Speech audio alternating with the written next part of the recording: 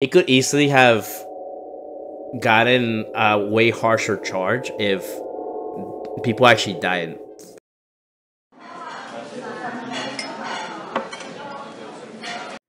What up, guys? This is your favorite beer podcast, Stout and Lager, coming to your ears. Yes, sir. Yes, doing? sir. What's up? What's up?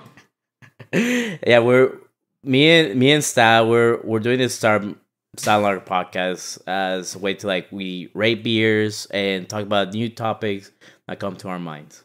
So yeah, so why is today why is today so special, uh, Stout? So today, for today's episode, we're doing um, a little bit of an interesting idea where we just have a bunch of beers from a bunch of different places. So I have some Well- beers from, you know, Europe, Africa, Asia, just kind of trying the, the different beers of the world. Yeah, like uh, beer world tour. I'm gonna crack Something mine like that. open. Yeah. Uh, the mic. Cheers, cheers. cheers. This this we we started with Europe. Now I gotta say that we we have Europe and Asia, but we are differing in. I took uh, South America and Australia technically, but we'll see about that. And then you took uh, was Africa and the Middle East. Yes. Yeah, and we're trying to probably do four each. So we'll we'll we'll see, We'll see where the episode takes us. So you for your Europe beer, uh, Stout. Well, what did you get? I am starting with the Estrella Galicia. I say like Galicia, like a. Spaniard, you know, it's a Spanish beer. Oh, dude, that sounds good. I starting with the Kronenbourg. That's the name of the brewery.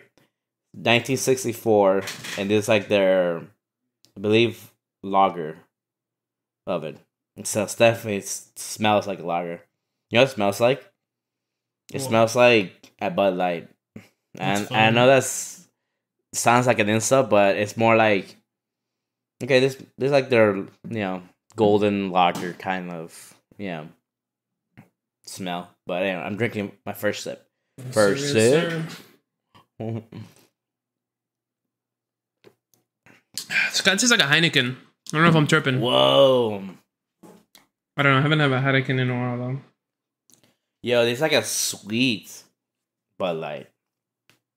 What the Oh hell? gosh, it's crazy. So why is it? How would you describe Heineken though, or Heineken? Because it's been a while since I drank a Heineken, to be honest. I don't know. Let me see.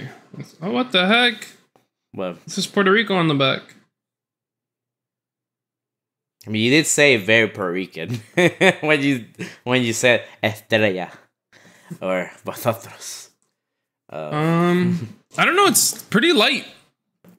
yeah. The, the description says it's golden color, clean and bright, lighty floral, herbal flavors with a moderate warm mouthfeel, an intense hoppy bitter taste that lingers in the mouth.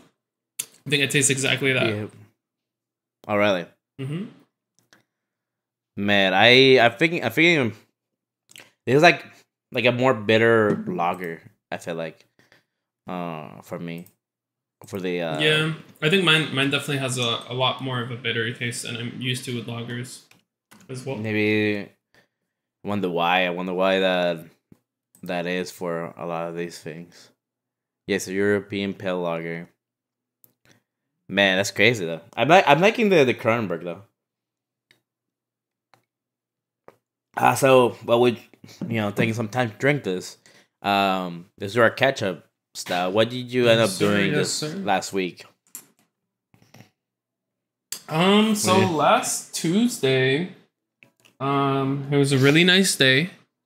Um, so when Sour came home, we rode the bus and we went to go drink a bunch of breweries. So we went brewery hopping.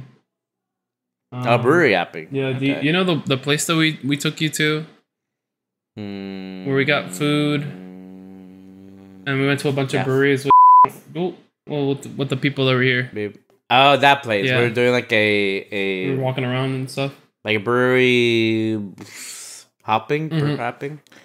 Yeah, we went there again. And just went to Okay, yeah. breweries. What new what what new beers did you taste over there? Um, so we had some sours. I tried a um an oak aged stout that was like sixteen percent. That was terrifying and like I don't know. I just saw one stout on the menu and I'm like I'm gonna get that, and then I saw it and I was like, oh god. And Oh, that, oh like- that's the one that you sent me. yeah, I sent you a picture of that one. I was freaking. I, I know it was a little ambiguous at first. I sent a picture of it. Forgot to say Yeah. that I'm, you It- know, why I sent it. Like this is a sixty percent, sixty percent. No, you, you definitely didn't tell me that. Yeah, it was just Well, a really awesome. strong like tasting, and it tasted like the oak oak aged a lot. Okay. okay. Yeah. What did uh sour get? Maybe So we went- What, what specific sours She get? got in the first place. She got some sours. Um, I don't remember what she had. She had one that was like a mimosa kind of. She had one that had, tasted like tea. One that was like mango. It was just a bunch of like fruity, fruity sours. And then the second place, Fruity when I got the sours. stout, she got a a Belgian ale because she she thought it tasted like Blue Moon and it didn't, which was It didn't. Disappointing for her, she- but- was disappointing. Oh my Yeah. god. yeah. I was like, That's funny. It makes sense. I feel like the the more craft Belgian ales or Belgian whites or whatever Blue Moon is Yeah. probably just tastes more Yeah. craft. Tastes more like beer. Yeah, they're more of the like the. I feel like, I, I you gotta admit, like I feel like Belgian people just have they're just the toughest nails. You know, I feel like in their mouth. yeah. I don't know taste buds. Yeah, they're like uh, like compared to the beers that we get normally, like I think it's just a to like European those thing. Belgian stuff. Yeah, they don't know, they- Europeans they know how to drink beer. Or like I don't know, they just used to it. Cause like I know in America, in South America, like like the Latin places, I know people drink young, or like you know they're like there's no real strict laws about drinking, so they do end up drinking beers or may or they go more liquor, but the beers over there are very lighter. I feel like we'll we'll we'll, we'll see, but like Yeah, I've I've heard that then- like in like England or like the UK that like you could have a beer with like a plate of food at pubs for like kids. Like you just have a pint, which is kind of crazy. I don't know how true that is, but yeah, I think I mean I, I know the drinking age is eighteen probably. I think over there. yeah. I think in England. Because there's this funny story with like um Jaden Jaden Smith uh, and Will Smith. Uh, I, it was one of the because sometimes I watch interview videos of celebrities because I don't know they're kind of funny when they're not acting and they're just doing that. And, and Will Smith tells the story about how Jaden convinced him to to them to go to England for some reason, or maybe it was Canada, but I think it was England. And he goes and he goes to Jaden goes to order a a beer, and he's like eighteen or nineteen or something like that. And Will Smith is like, "What are you doing? Like, you're you're not drinking."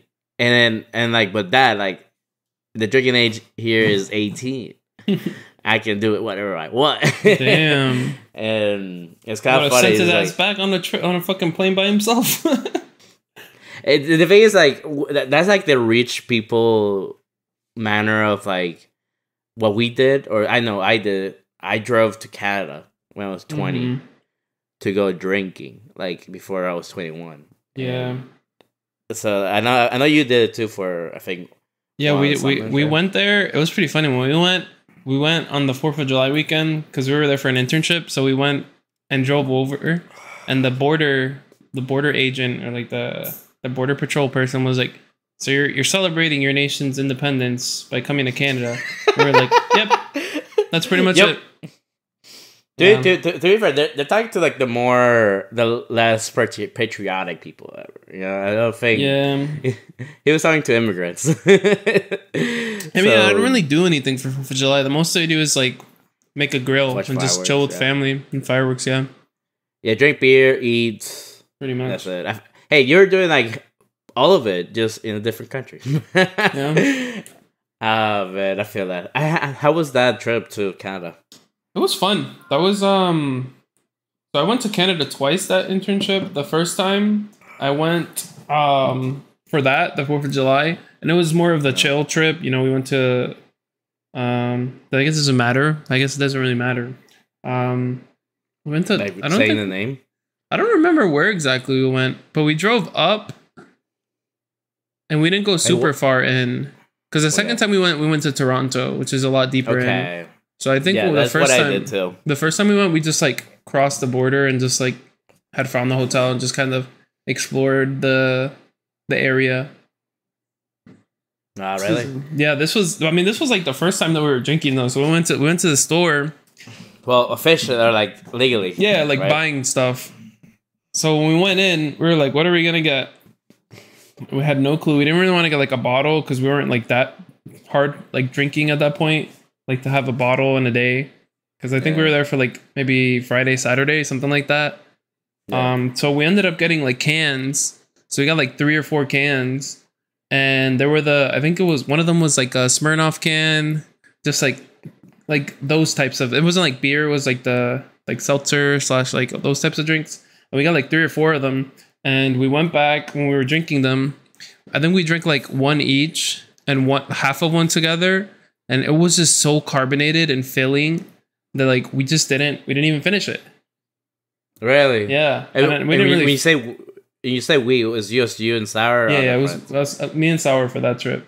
So that Really? one was Okay. was more low key. We just you know we went we did the you know go to I think because we were like our hotel was like by like a pier, so it's like boardwalk area where you can like walk along the the coast of the water. And I think on the other nice. side it was the United States.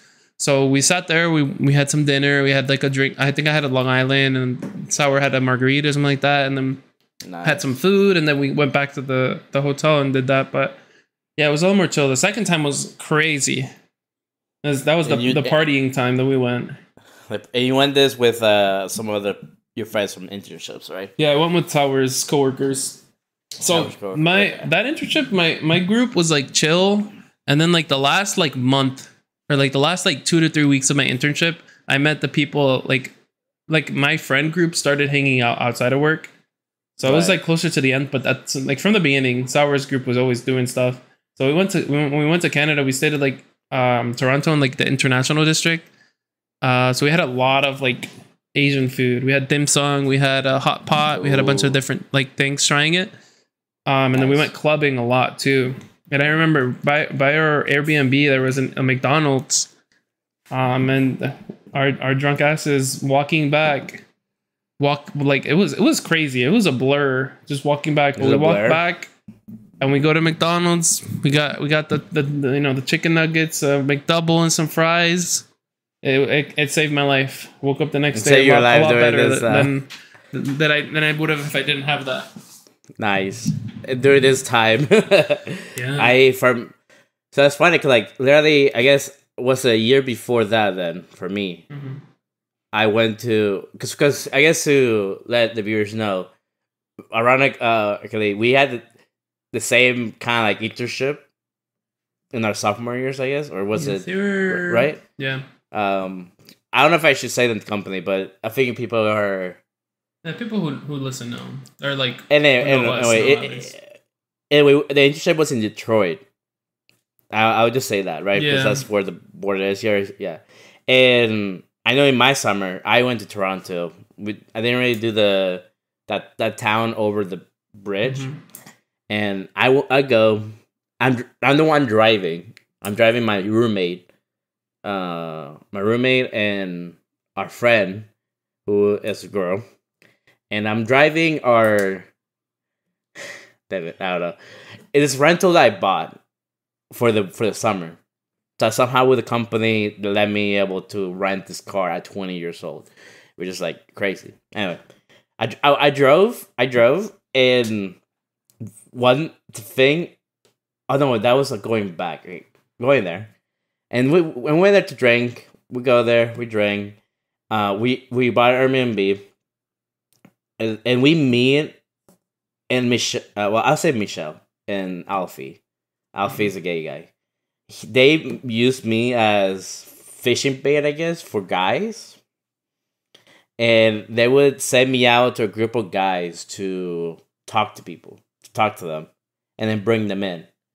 And it was kind of funny like they sent me to the first group of people, and that's when I first drank a Jaeger bomb.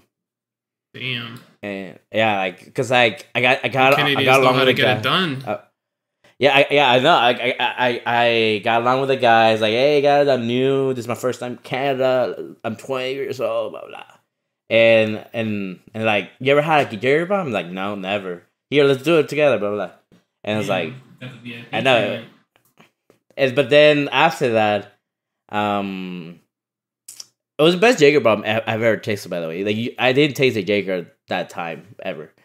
Uh, so those are dangerous. But um, then they took me back because they didn't like that group or they didn't like the guys. I don't know. Then they sent me back to to this other group of these two guys and this one girl.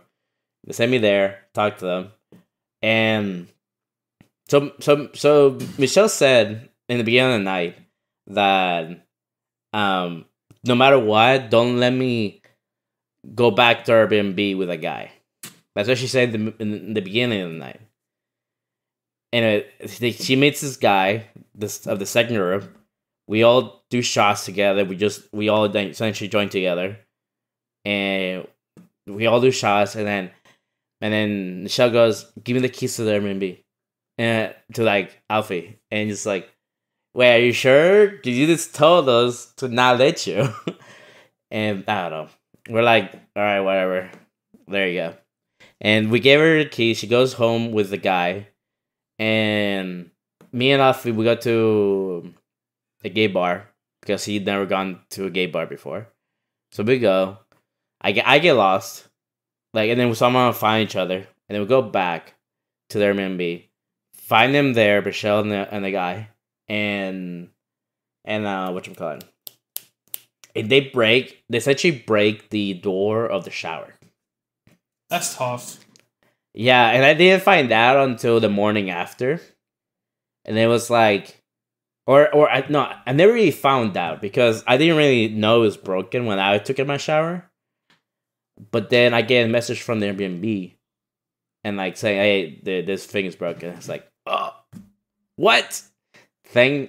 And I was like, and because it was I was the one to pay for the Airbnb. Damn, you get caught lacking with that?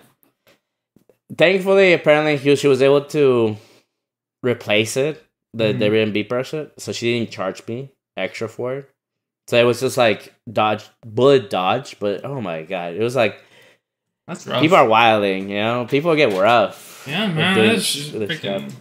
caressing. but i know but uh it's a good story though like toronto was fun like it's a clean city Yeah, you know I think I Toronto is my favorite place that I've been in Canada. i mean and, and, I mean and you you've been to vancouver though right Yeah, I've been to Vancouver, been to Toronto, and I was to that I guess smaller city. It was one of the- Uh, yeah Vancouver Toronto's did not nice, yeah. compare to Toronto at all. To be fair, also we we went to Toronto during summer. And I bet like that's like the best time to go. Yeah. I just feel like Vancouver was significantly smaller, and there wasn't as much to do. Like I don't know, I Yeah. feel like there was like maybe a street where there's like a bunch of stuff, like bars, restaurants, and stuff. yeah. But like aside from that, there's not really that much. Whereas like Toronto was huge. We we when we were in the we were just in the international district, I think.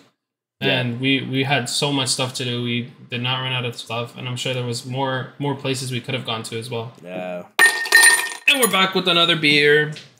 Beer number two. This is a fucking big beer. I know mine. Mine is necessarily big because it is still twelve ounce, but God, it feels heavier. Motherfucker. you have a 12 ounce. I have a 16. Bro, I almost have a 750. 640 milliliters. One pint and five ounces. Okay, that's a pint. And a pint is what double twelve ounce or I, don't I think I don't know. I honestly don't know. This one's probably like two beers, low key. We'll see how this goes. that's But kind of crazy. yeah, number two, beer number two for me is Sing Sao. I'm probably saying that horribly wrong, but it's Yeah. a Chinese Disclaimer. lager. What's it called? China. Sorry. Sing Sao. It's T. T S I N G T A O. Ching Tao. I don't know. Maybe I don't know. What are you sipping Uh, on? yeah, di- yeah. Disclaimer: We're we're two boys from that are Latinos. We probably are going to mispronounce a lot of these beers. Dude, these all smell like So- Heineken. I don't know. I feel like everyone's smelling like Heineken too. But anyway, Yeah, I got tripping. I got Bia Saigon export, and it's like from Vietnamese Nice. Vietnamese beer. So we're, right now we're hitting up Asia on our tour. Yes, sir. So, So, but for, for beer number it? two, Num- or for beer number two. one. Um, Oh yeah, well, let let me open this first What's, because I what's your actually haven't rating? What's your it. rating? Ah, this there it is. So for me, I guess I had the Estrella Galicia, Galicia, or Estrella Galicia. You know, how the Spaniards say but um, it was a lager. Wow. It's pretty good. Um, I think it was a beer that I would get at a beer at a bar. Not gonna lie, A beer. a beer that beer, get at get a a beer. beer. Yes, sir. But um, I definitely probably would get that again if I saw it. Um, Oh yeah. I'm gonna. I, I'm leaning right now to seven point five. Barcelona's out of ten. Barcelona's. FC Let's say it. Barcelona. Visca Barca. What? Barcelona. Barca. But um but what so what did it taste like? It just literally tasted like a light beer. Light beer. So it's it, it tasted like least, it tasted like more of like a lager. It, Yeah. it was a pale ale, I think. I'm not sure what it was Yeah. actually, but it tasted like a lager with hop to it, but it wasn't too much of hop. Yeah. I think yeah, okay. Seven point five. That's a good rating. Uh I guess for me, uh I got the Kronenbourg sixteen sixty four. I guess well, do you want to say any facts about Estrella? So I guess more so about Or Spanish, beers. Yeah. I was looking it up, and apparently they like let light lagers, pilsners, and also alcohol-free beer. That's something that I saw when I was looking it up. That there's a lot of Spaniard alcohol-free beer. It's pretty cool.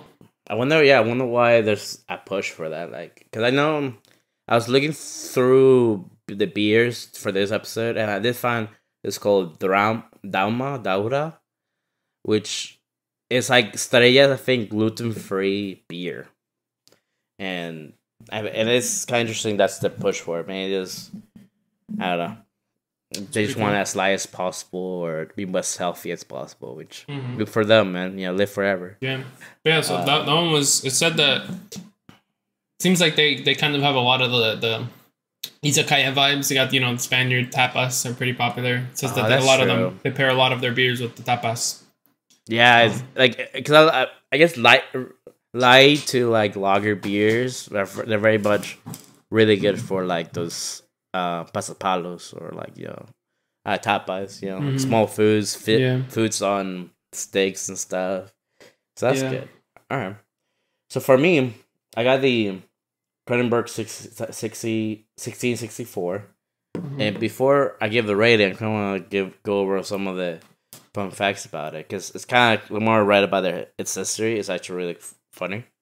Mhm. So it is a brewery that was founded in six, 1664 by Ger- Ger- Geronimus Hatt, um, in what today is Strasbourg, France. And the thing about French beer, I've been I saw, I've been seeing, is that it was it was it was, it was affected a lot by because before industrialization, a lot of the beers were brewed in rural breweries in France. Like Mhm. it was like catered to the needs of the local residents. Like so, essentially just ba- they're very traditional. They're very like different flavors, but because of industrialization that was happening, I think it was 1800s or I think it was around there. The, the rural population declined, so these breweries almost disappeared Mhm. like and along this along with the Kronenbourg brewery. So industrialization impacted the number of breweries, the decline of the coal mining, you know, uh, almost made this breweries disappear.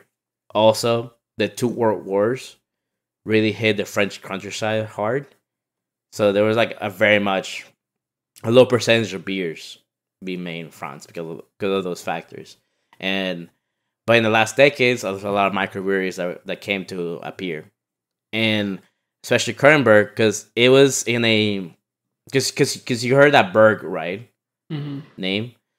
And it's because all of that were in the countryside of France that was fought over from Germany. Like it it became Germany, then became France. It was, just, it was all this you know warring that like happened, and it was kind of crazy with with that. And then you know it was this the one that we I'm drinking right now was just first brewed in 1952. despite this brewery really being from the night from 1664, which is kind of crazy. Um, but yeah, it's like it has a lot of malt. So what, Or it was in 1900s. 16, 1664 was when they were founded. Okay. I thought I heard when- 1900 twice. That's why I was like, why is it called 1664? But that makes sense. Yeah, yeah, they were founded back then when Mhm. when it was the Holy Roman Empire, which is kind of crazy. Yeah, but That's then it went through a lot of different changes through the years. Mhm. Yeah, with like his sons, you know, passing it down. Then World War Two happened. It just a lot of different things were happening to this brewery. Somehow it stayed up, and they made their famous Kronenbourg 1664, which is a pale lager that I'm drinking right now. It's at 5.5 percent. Um, has small amounts of this Strist Stristel palt hop, and was made with malt as well, which goes into the taste because when I was drinking it, I it was a very interesting mix of sweet malt and bitterness. It was like kind of like going back and forth with it, and both flavor, both like profiles weren't really up your face. It was very much a light sensation in your mouth, where like you know, it, it some sips will be more sweet, other sips will be more bitter but it was very well balanced, I would say, in in this beer. So I almost want to give it. I almost want to give it an eight, actually. Damn. yeah, I kind of want to give it an eight.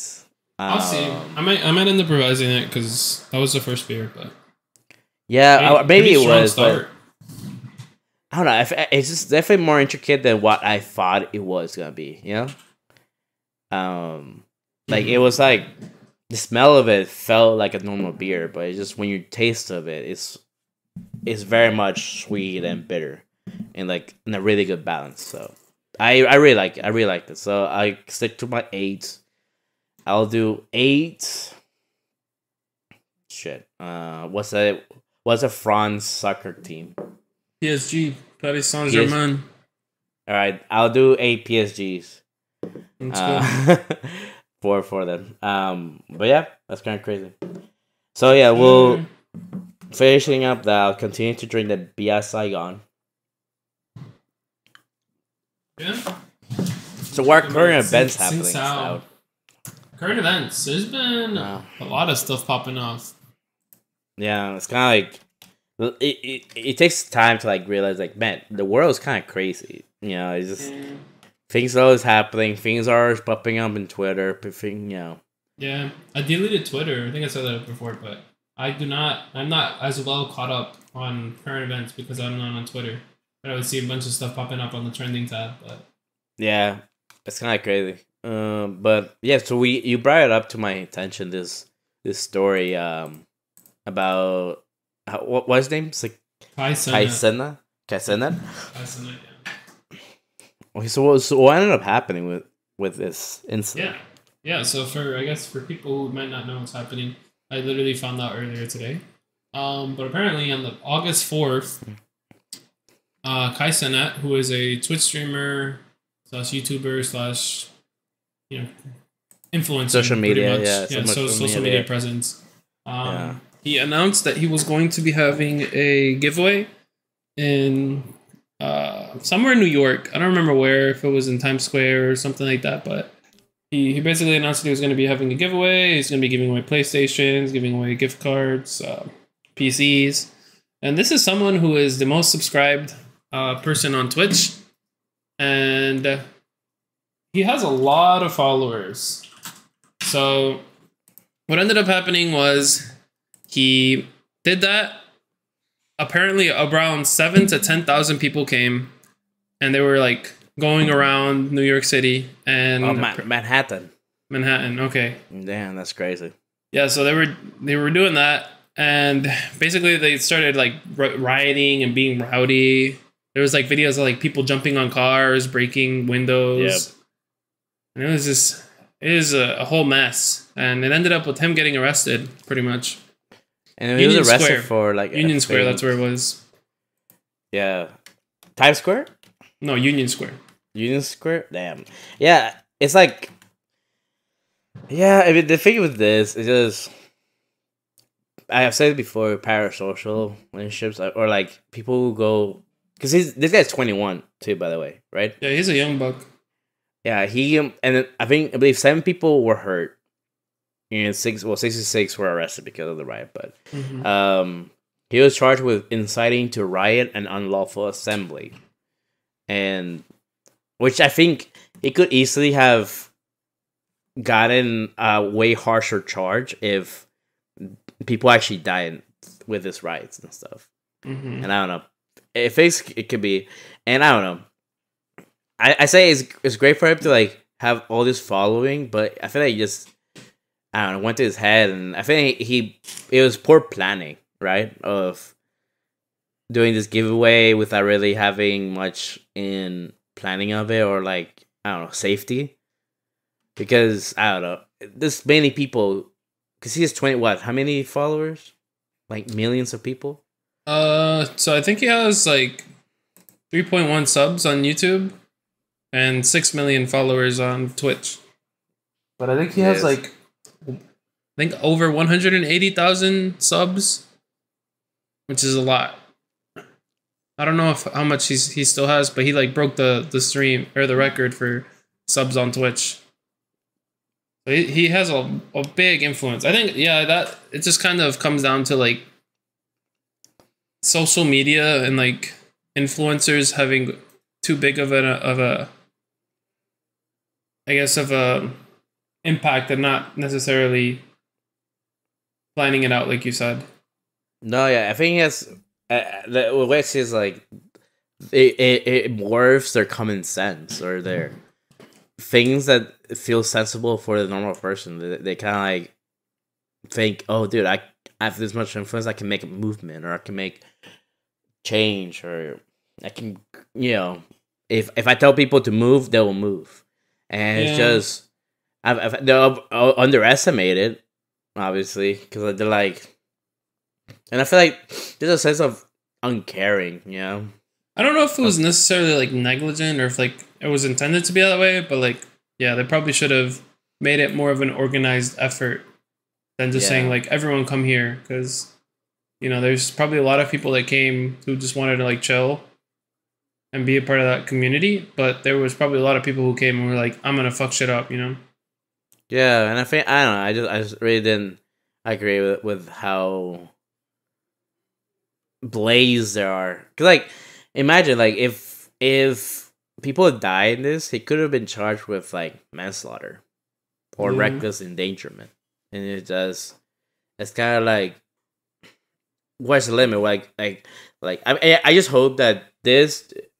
I- mean I don't know. I hope this is a wake up call for him, but I feel like it won't be because I feel like I don't know. People take this as just because I'm I don't know how how much he makes.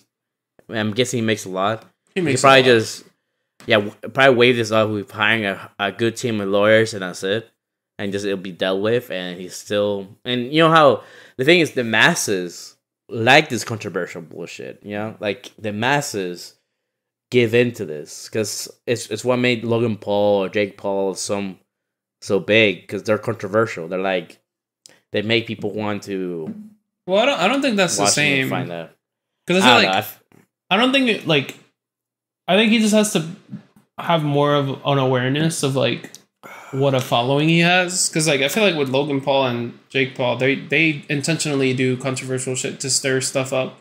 And they like for them no all publicity is good publicity. Whereas like Kai Kai has like he's had a pretty positive impact. And you know he has his little things. Every every community is not 100% like positive but I don't think Yeah, they're, the, they're it's the same for like whereas like as the Paul brothers and, and trolls. or what about the um, that was what was his name? Uh, the red pill people or the uh The Matrix with Andrew Tate Fresh- and Tristan Tate. fresh fresh fresh fits I have no fresh clue. fits like it's like um I was gonna look something up and I forgot. ah what is his name do you know Abba and Preach Nope. No, clue. Like, no Fresh and Fit I think I think that's the name of their group. Was it a podcast? Yeah, I think I've heard of that, but I have not watched any Fit. of their content. Aren't they Yeah, like and F- controversial? Hell yeah, they're like they're the red pill people. They're the red pill people. They're like men self improvement podcasts, the truth to men on females, finances, and fitness, and all that, all that crap. They have you know entertain on it. They Sneako, Sneako's on there too. Mm, Sneako. You know Sneako, that tells right? me all I need to know. Yeah, and it's like I guess Kai. I guess since you know Kai Cenat is not really like that. I guess is that what you're telling me? Yeah, I don't think so. I don't think he's not. He's a pretty like positive like role model. I feel because like I think the biggest thing about him was like for the most part, all the people who are super famous and like YouTubers and all are usually pretty white. Like not pretty white. They're like white. They're just Caucasian or they're just white presenting. But he was like one of the first people of color that was doing that. So that that whole that brings that whole like you know people seeing people who are famous and successful that look like them. So I feel like that's that's something that's like really different about him, and he's really charismatic, and he's he's seems to be like not like going crazy, but I don't know. I, I guess so he, he doesn't like intend. It, to me, like it just strikes that he doesn't. He's not like a. He doesn't aim to go out and do that. That's not like his style of content. You know. Okay. I don't know. I really haven't watched much though, so I can't. I can't talk too much about that. No, but I, f- I think at least that gives me a better idea. At least, Yeah. at least that gives me a better idea that it's not. He, it really was pro planning, and it it doesn't really thrive on this, you know, right? Like it, Yeah. it, it really is. Yeah, it's just rough, messy situations. Yeah, I mean, thank thank the thank God or thank anything that that people didn't die. You know? Yeah. Because this would have been painted. This would have been painted way different brush if Mhm. someone died because of the actions of a 21 year old and and i don't know who does he have a team does he have like a Yeah, he has like a group. team Well, he has he has a marketing group and all that too, but like he has like a like you know how there's like sidemen and like Yeah. like groups of people who like are part of like the same organization. I guess he has like his own like org. It's called AMP, amp right yeah and it means possible supposedly. which is good because there is a lot of i i do because the way you talk about it i have hope that this is you know a one thing event he was poor planning he's you know because it just i don't know it sounded to me like something that could be done by someone like the the, the paul brothers fresh and fit Mhm. just two are literally just living off creating of cause- controversy Like yeah, creating chaos. Beer And we're number back with beer number three. Beer number Bing three. bing bing bing bing bing bing bing. What? so What are you having for beer number three, Stout? I'm having Almaz Almanza. It is a Lebanese Pilsner beer. Pilsner. Okay. We're visiting the Middle East, I believe. It's the next area. It's a good. Oh my gosh! Shit! I just realized that I have to use my tool to. I don't know. Open this crap. Foster's. Wait, wait. I'm gonna open mine. Go for it. Okay, go for it. I'm ready. Boom. Three, two, one. You said go for it. I went for it. What do you mean? I did it. okay, I did too. All right, first sip. Clink. Uh, uh. Is that kind of beer? No. Ooh, that fucking is weird in a good way. It's weird in a bad way. So I'll I'll I'll, I'll I'm gonna I'm gonna write my thoughts on a notepad, and we'll come back Yep. to it because we had to talk about the two beers that we just had. Let's, yeah, let's do it. Uh, for me, I had the Ba- Bia Saigon. Um, it was like from, from Vietnamese, and it's kind of Mhm. interesting. It's like I was I looked up their website, and dude, they have like the most intricate website for a beer company I've ever had seen. To be honest, they um, there's a leading brand in name in Vietnam in, in Vietnam with about 140 years of developing. It was it's kind of crazy. Um, they they, they the Bia Saigon export is a 4.9 alcohol percentage with a 12 ounce bottle, and it's apparently what it, what they say is the most popular beer in Vietnam. This Okay. actual the, the export one, and it has you know a traditional, charming, natural, but with a liberal flavor, and that, all that says is very much paja. but you know, it, it just feels like very much marketing. Mhm. Um, they say the ingredients is water, malt, barley, cereal, and hops. Which Interesting. I don't, see- I don't know why. So you said cereal. I thought I thought you meant that was some of the the taste that you got for the beers that I was looking at. My beer said that like you get like cereal mar- malt or like barley. I don't know. I don't know they fucking put cereal in that shit. Would they put some frosted flakes in that bitch? Yeah, I guess because it's, it's another set of grains, right? The, Yeah. they add along with like the the barley and the yeast, maybe. Oh Mhm. well, and you know, it, it, it, it was an interesting flavor. It was like very dark, or it felt very heavy, or not heavy. It felt. I think I drank it so fast, actually. Like, um, I drank it. Wait, yeah, I, I some more, so I'm gonna drink the last bit. Ah, Sip on that bitty. I should not have done that. I should not have done that. was it warm It- at this point? Yeah. Mm, the, the, that's the foam at the bottom that you're drinking. The warm foam. Oof, that's not good. That was, Well, don't, don't like, let that influence your your taste uh, or your opinion on the beer because that's no, that's like but that's rough.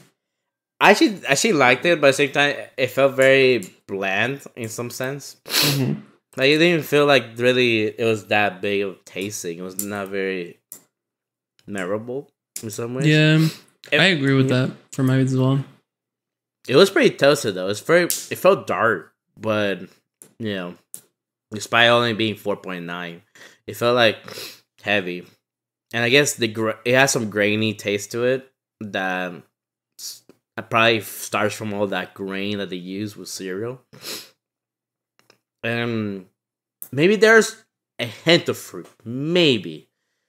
But for me, I didn't like as much as I like the 6064, I'm probably gonna give it. Shit. What's a Vietnamese thing? uh, yeah, I'm, I'm gonna look up Vietnam and then see what the first. Banh images are. mi, pho. Oh, pho? Yeah, pho. You know, okay. I'll give it six pho soups out of ten. Let's go. I like that. I, I think, but but it felt too light. It felt too, you know, I don't know. Yeah. Not that eye catching. I like the 66.4 for its sweet and bitter blend. That that was a really nice balance. But this one's just more light beer. I feel like. I feel, I feel. go for it. So for me, I had the Singtel. Singtel. I don't know. I'm not sure how to pronounce it, but um, there was the Chinese beer. Uh, little fun facts on it. So apparently, um, in 2016, Tsingtao was the second most consumed beer globally and reached a 2.8 share of the global beer market, which is crazy because I've never heard of this beer. Um, and in terms of China, it's China's second largest brewery, um, and it accounts for 15% of the domestic market share and also accounts for half of China's national beer exports. So I guess a lot of people who leave China really like this beer and um, just buy it. Or did you just take it with them, or like? No, I, Or- I mean, I'm assuming exports like here, import. Man, that's crazy. Okay, Yeah, I don't know. what what did it taste like? Um, it was very inoffensive. Like it was really like easy that. to sip. I think this one tasted more like a Heineken than this the second one. So apparently, um, this beer uh, was founded in 1903 by German settlers.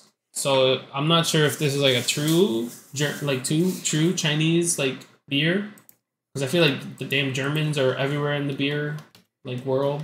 I think the thing is everyone learns it from the Germans or Mm. Belgium and stuff like that. So it's Mm. like They're just the really- because because that was kind of like similar to the origins of the Sapporos. Mhm. How the guy went to Germany to learn about beer brewing. They came Mhm. back through it. I mean, I like that story a bit more than what you said. Where like it the is. German people went there. It's like it was like a Chinese person, yeah. because I feel like in that sense you probably got some of the German taste, but you also got some of the the you know Japanese taste because he was Japanese. But for this one, this man, this is just straight German people who came there. That's But- crazy. It was pretty solid. This one tasted a lot more like a Heineken. I don't know. Maybe I'm tripping, but I mean, no. it was solid. Um, I think since it was so inoffensive, not really that memorable, I give it a 5.5. 5.5 TikToks out of 10. TikToks. Yeah, TikTok is uh, Chinese, my guy.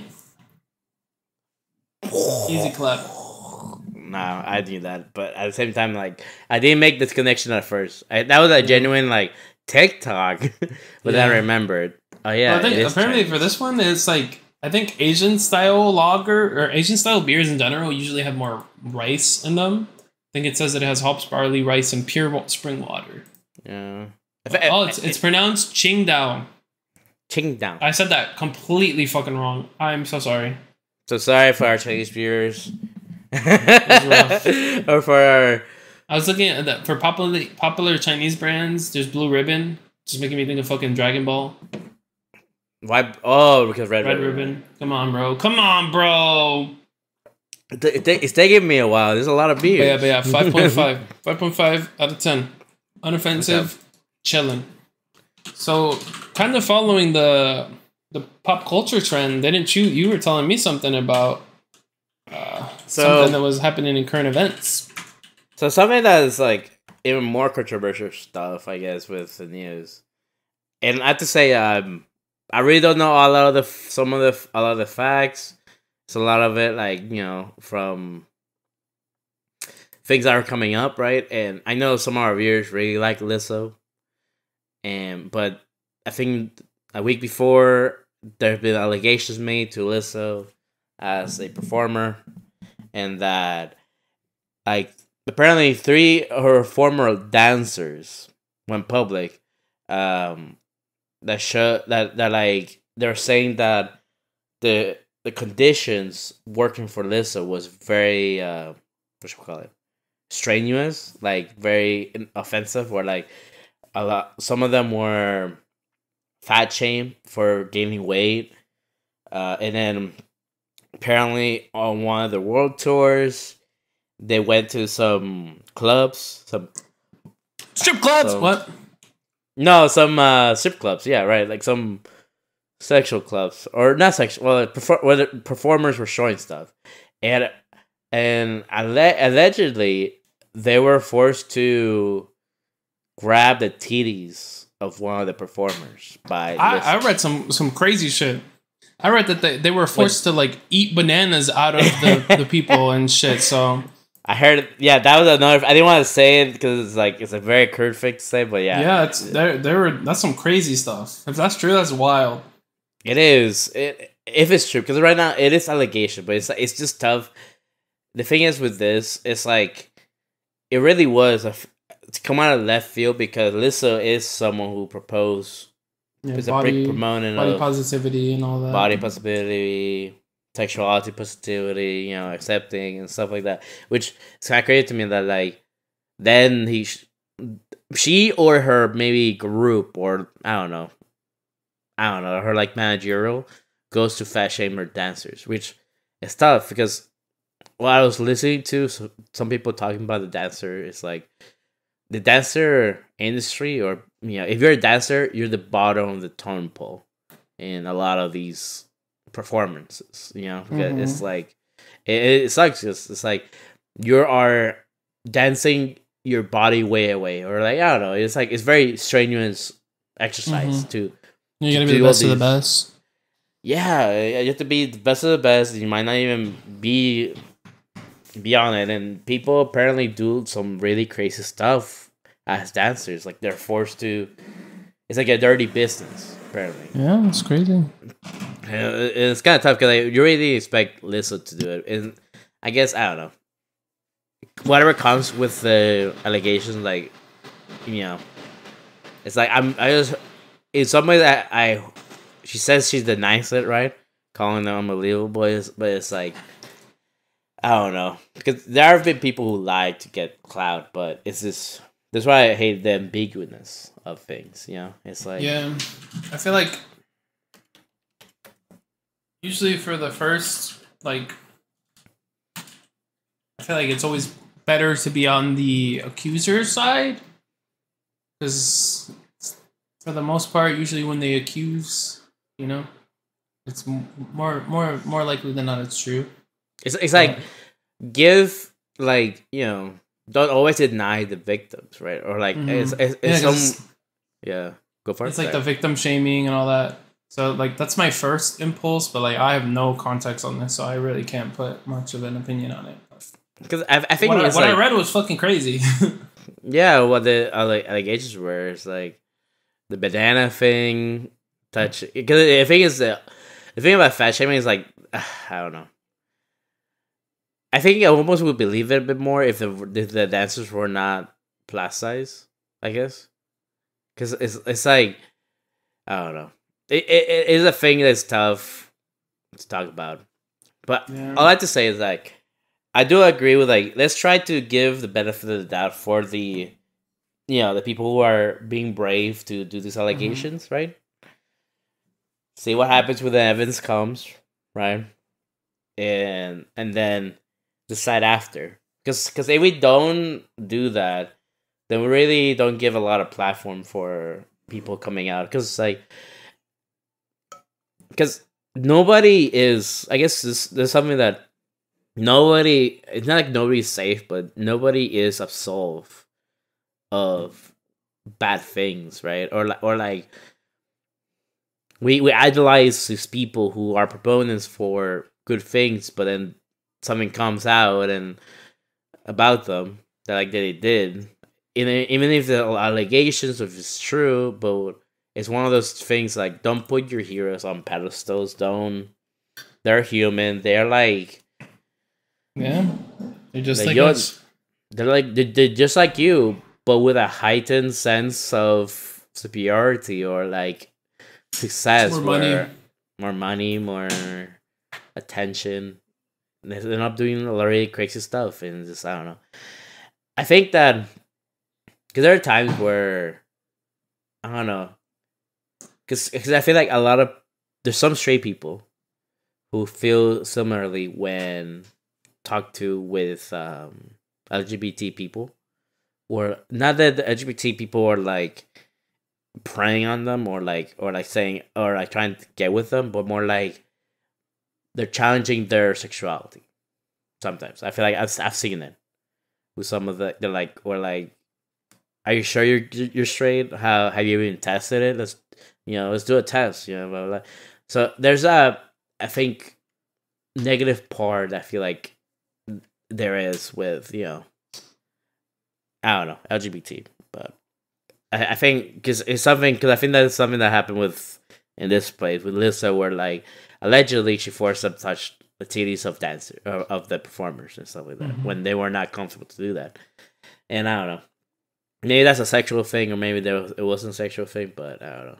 I it's tough. It's tough, but I just want to say give the benefit of the doubt to the victims, see where this goes, and you know, we'll see what happens, man. Yeah. it's kind of tough. Some of some of this, this is why maybe we're not a those reaction YouTubers. Yeah. We're more of a yo. Let's let's get drunk and talk about life.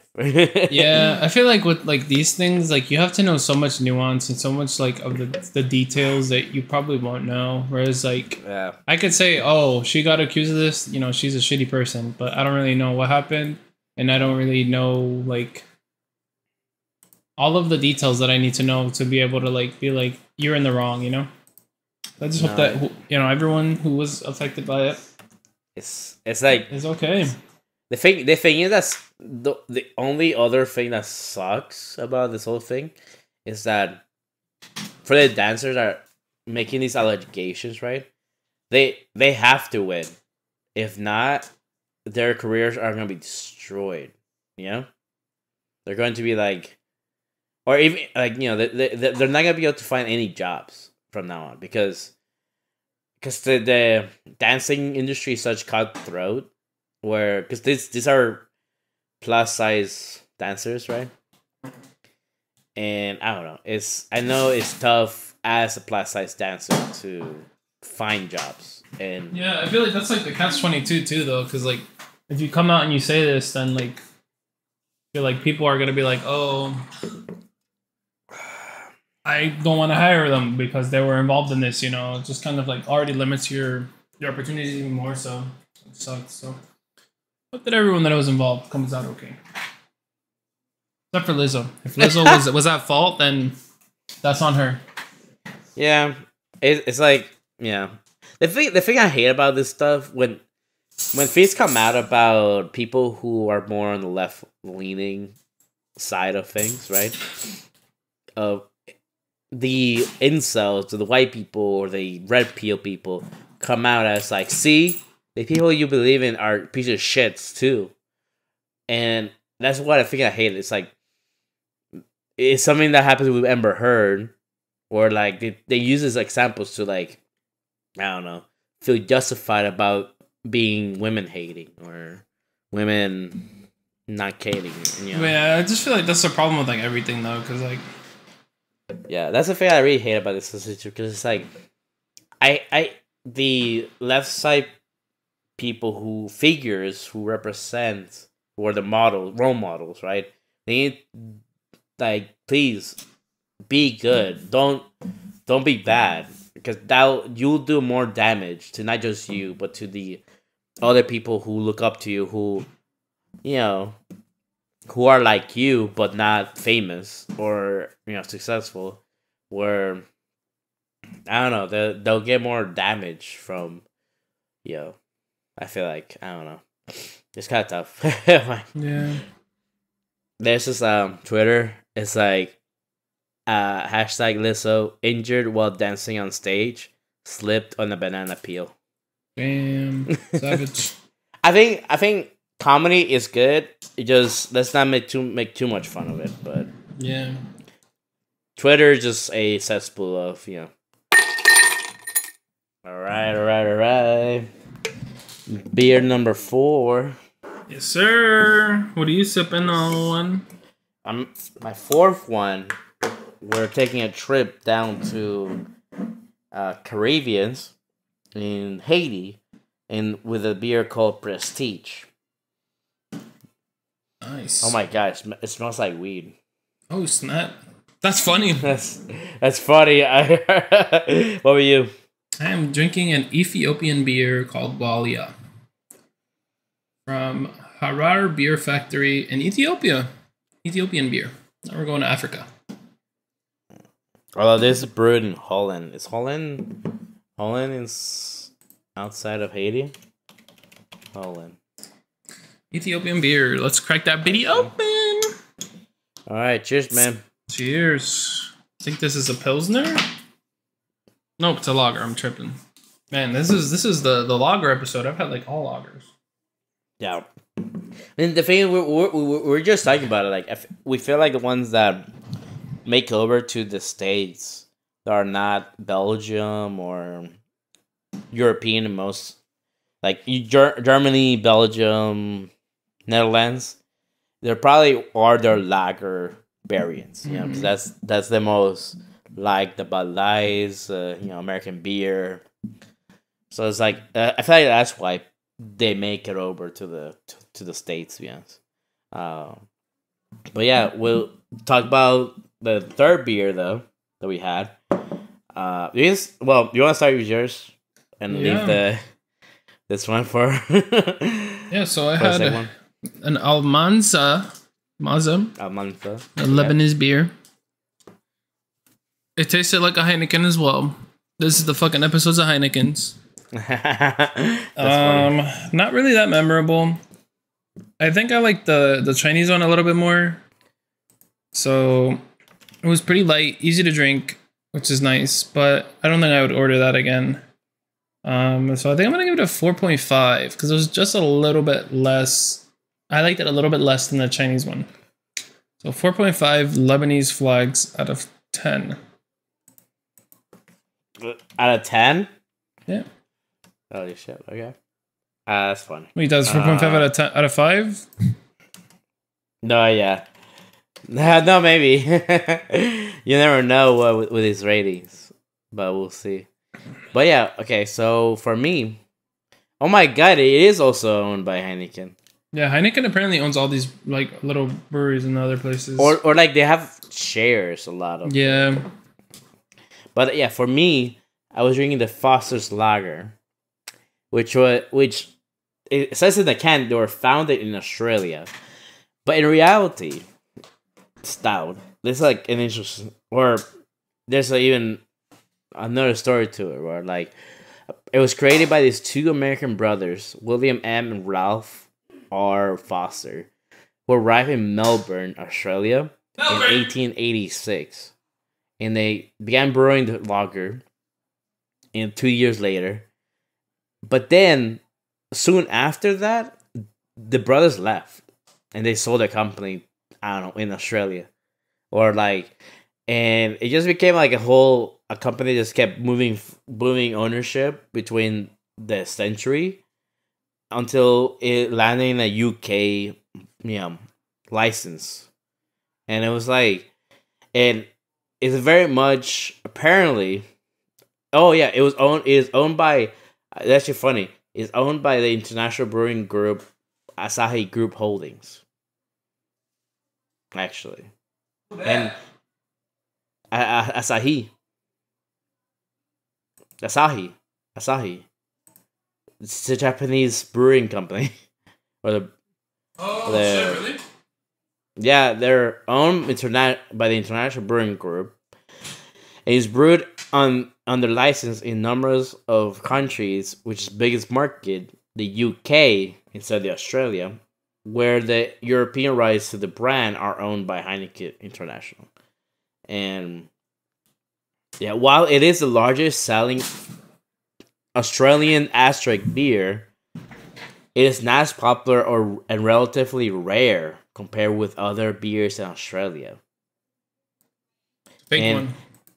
Yeah, it's a fake one. It, I was what I was I was going through the research stout and there's this TikTok of this Aussie say, if you ever tell me uh, if what a Foster's beer tastes like, you need to get out or I beat you up. and Damn. because it is a fake uh, in some ways it is a fake australian beer because the aussies don't drink it only the british people drink it and then you know in turn us or the united states people and it's kind of crazy because because you uh, it was hard to find australian beer and this is the only one i found in my beer you know store it's just kind of crazy and it just yeah, like let's not order Foster's beers when we go to Australia. Okay, Stout. Yeah, we're gonna roast it if we do that. we do. So, and I agree because I when I tasted it, you know what it tastes like? It tasted like Budweiser to me. I think that's what the beer was. Budweiser, interesting.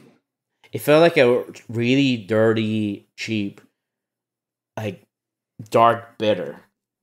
That just was just like that would that was light as well. Like it was like a dark bitter that's light, you know, which is like, and it it just they're trying to be more nuanced than just light beer, but it's really just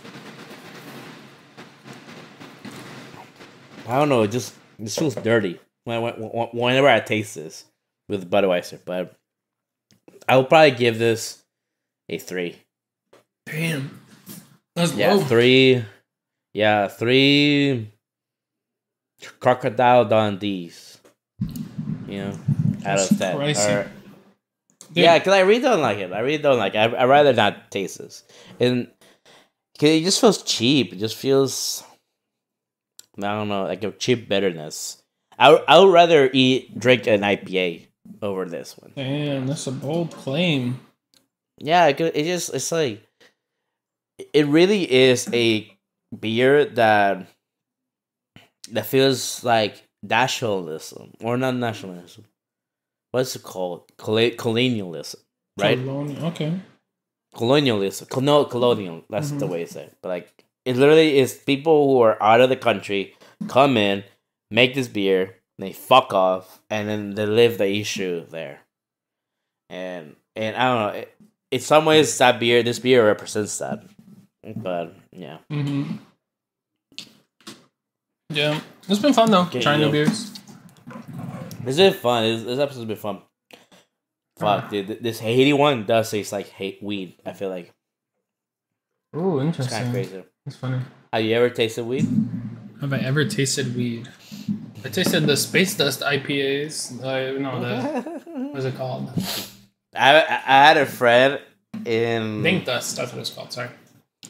Bank does. I had a friend who uh, we went to California and they bought a lot of weed to to, to, to smoke. And and then in the last day when we're going back to Phoenix, they were like, "Uh, "We need to finish it because we, we, we they didn't want to get caught with the the weed stuff crossing the you know the state border." He goes to eat it. Eat the weed. It's like, mm, this is, tastes like candy. Mm, Brr. That's tough. Cause it, it really was just it. We were literally 22, 20 people going to this one Airbnb, or maybe less than twenty people, less than twenty people, but you really a big group, and like half of the people were would smoke weed, and they went um went crazy on the dispensaries, and just like there you go, and they didn't finish enough. We we ended up also not going over a check, you know. Mm, So so he he ate that weed for nothing. That's tough. I, the thing, I don't think you get any effects by eating it, or like I'm sure it's not as strong. I don't know. yeah, or I don't know. It, it like it felt it. It didn't seem like it really did much. Unlike eating edibles, I don't know how's the.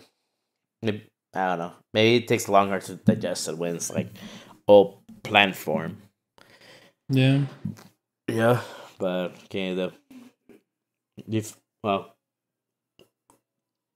what? ah, you want, you think you're ready to rate this the the new beer? yeah, I'm already almost done with that video. I'm too I'm too quick with it. Shit, I'm on. I'm well. You you you give it there. I'll chug this one. Bro, this dude. So this was uh, the Walia Lager. I feel like both this one and the Almaza had like light beer taste to it, but it also kind of had like the the de- the deepness of like a stout. Like the first, the Almaza had a little bit of a sweetness, and this one just has like more of a depth of flavor. Not sure. Okay. I think for this one, mm, I think I'm gonna have to give it a six point five. I liked it more than the Sing Sao and the Almaza, and but I didn't like it as much as the Estrella Galicia. It was smooth. It was easy to drink, but I don't know if I'd order it again. Not gonna lie. Now you want it? Why that? If I see it in Ethiopia, maybe I'll order it there, but I'm gonna give it a 6.5. The Weeknds out of 10. Fun fact the Weeknd was born to Ethiopian parents. Okay, that's awesome. I think I was not expecting that. Yes, sir. I was not expecting. that. Holy crap! Yes, sir. Yes, sir. What about you? What about you? So for me, I would say it's an interesting taste to it. Wait.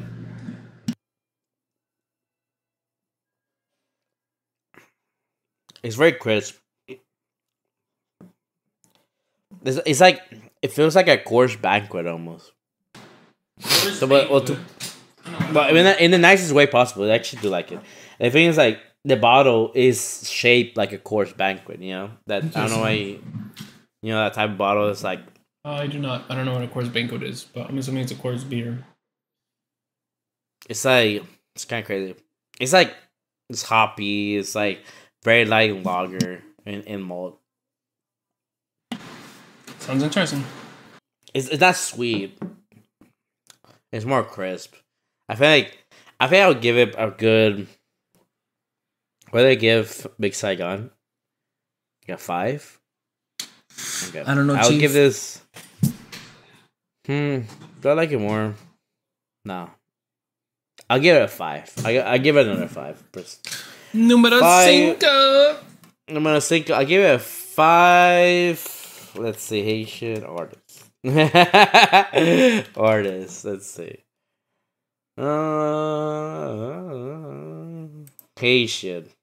What do you know about ha- Haiti? They speak Creole, no? Oh wait.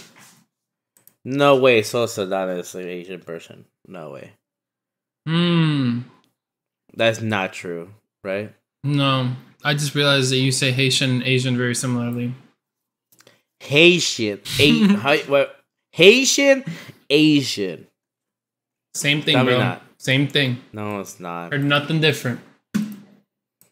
Okay, maybe. Okay, the, the, a Haitian, Asian, Haitian, Asian, Asian. Because when I say Asian, um, let me see. Was I'm pretty sure. No, I thought Russia was born to Asia. what what is Haiti known for? Let me see. I'm not sure. Hmm. Were you scrub? Don't even have your your your Haiti fun facts ready? No, I I'll ha- I'll I'll get five Haiti dancers out of ten. I'll I'll I'll get something like that. Alrighty. But we'll see. All right. Well, that marks off the end of the episode. Thank you so much for joining us on the world Yes, tour sir. Yes, sir. as we we're tasting different beers for us. And if you like it, like and subscribe. Comment down below any any like new beers you guys want us to try. You know, because like we're always we're always putting our livers in line for you guys. So, so we always do that for you guys. Um, yeah, thank you so much. Uh, thank you for watching. All right, Style Lager signing off. Catch you on the next one.